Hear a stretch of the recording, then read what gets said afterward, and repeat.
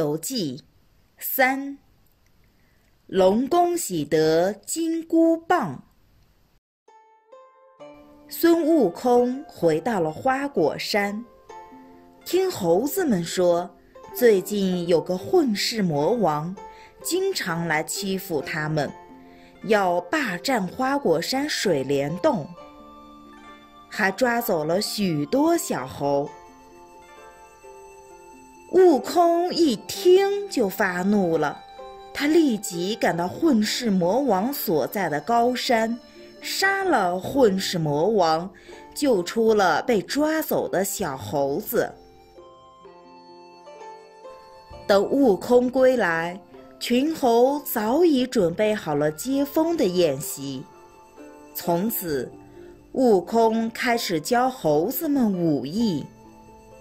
但是有一件事让他不开心，那就是自己还没有合适的兵器。悟空听一个老猴子说，东海龙宫什么宝贝都有，他马上施展功夫来到东海。他自称是花果山天生圣人孙悟空。是龙王的邻居。东海龙王敖广听孙悟空说明了来意，觉得不好推辞，只好让手下取出大汉刀、九股叉和方天戟。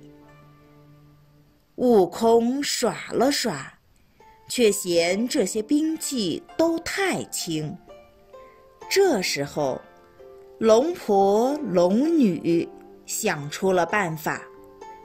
大王，我们看这先生不一般，咱们龙宫宝库中那一块天河定底的神针铁，这几天霞光艳艳，难道是该遇到这位先生了？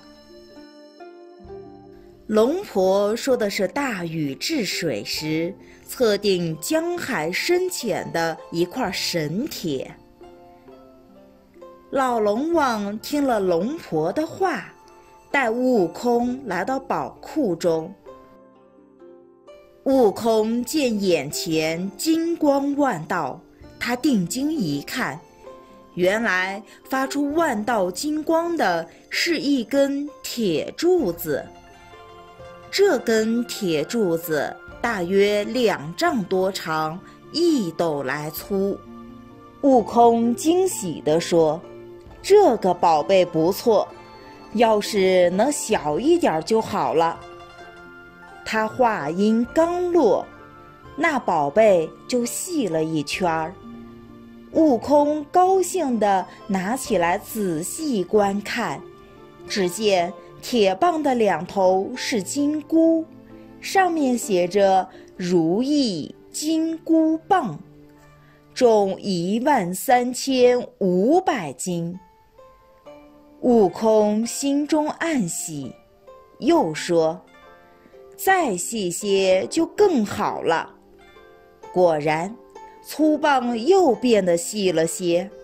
很快，金箍棒就变得只有丈二长短，碗口粗细了。悟空一高兴，就在海里舞起了金箍棒，吓得虾兵蟹将四处逃走。悟空接到兵器后，又在南海龙王敖青、西海龙王敖润和北海龙王敖顺那里凑足了一套金甲、金冠和步云鞋。等穿戴好了，他才返回了花果山。一天，悟空在酒宴上喝醉了，被两个勾魂鬼套上绳索，拉到了幽冥界。悟空一看这是阎王住的地方，顿时火冒三丈。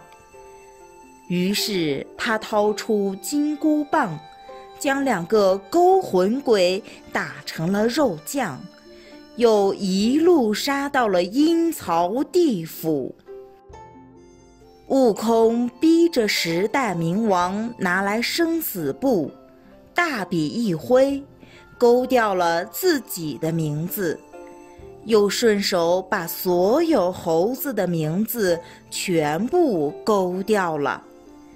然后，悟空一路打出了幽冥界。等孙悟空无影无踪了。被吓呆了的十代冥王这才缓过神来，他慌忙跑到翠云宫去见地藏王菩萨，商量着去向玉皇大帝告状。